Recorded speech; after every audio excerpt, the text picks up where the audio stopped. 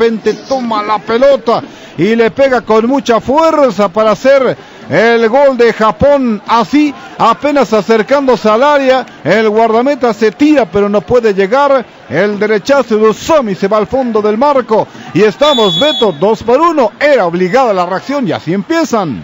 Y seguramente tendremos un gran eh, segundo tiempo por esta anotación. Ya están dos por uno los japoneses.